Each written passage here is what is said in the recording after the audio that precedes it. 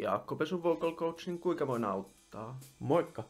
Laulutunnit kiinnostas, mutta vähän pelottaa, että meneekö tämä minun oma soundi sitten pilalle siinä. Onhan se niin, että hyvä tekniikka estää sen eläytymisen ja fiiliksellä laulamisen ja samalla tuhoaa sitten sen oman soundin kokonaan, mutta onhan se kuitenkin hyvä laulaa silleen oikein.